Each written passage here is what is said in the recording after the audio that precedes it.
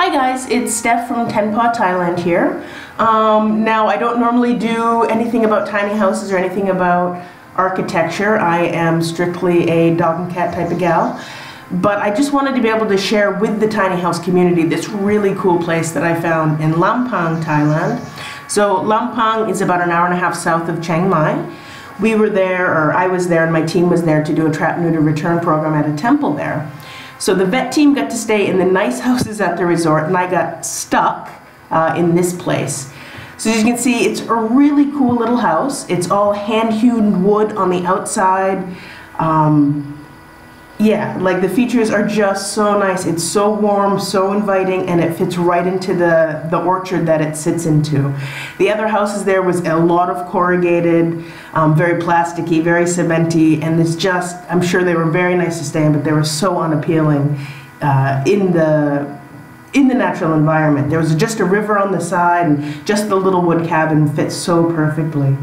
Um, inside, as you can see, like the features, the doors are really nice, but this graphite, I don't know if it's like a cheaper or a version of drywall that fits better in the humid tropical climate, but it was just so unappealing. Um, I don't know if they can paint it to warm it up a little bit, um, but it's just tinny, not very nice. Uh, so again, nice door on the interior. Um, yeah, I love the little daisy accents.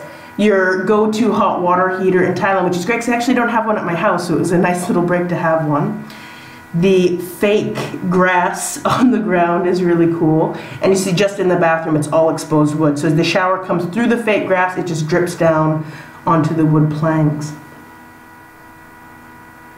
Um, I talked to the owners of this place, of the resort, and they said, so buying the land and having this cabin built for them, they spent a total of about $5,000 US, which is actually a lot more than I thought it was going to be. But when you think about the, the quality of the wood that they used and the labor and the, the really amazing little bit of land there on an orchard, I guess it's worth it. In Thailand, labor is cheap, and you know the if you want to use not such a nice quality wood, you could do, do this a lot, lot cheaper. You can build a bamboo house this size for a couple hundred bucks. Yeah, just those planks, it's so pretty. Um, and I think this is something that you DIY tiny housers could put together in a couple of weekends. You guys are amazing. I'm always blown away by your projects.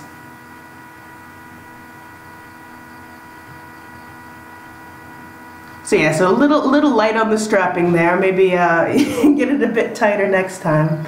But this is the longan orchard that it sits in.